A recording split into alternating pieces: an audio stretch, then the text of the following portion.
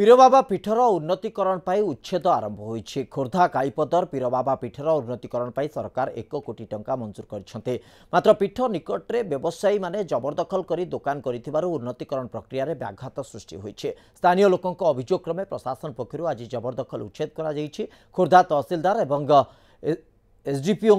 নেতৃত্বের এক platoon police force মোতায়ন করা উচ্ছেদ করা প্রশাসনর উচ্ছেদ প্রক্রিয়া স্থানীয় বাসিন্দা স্বাগত করেছেন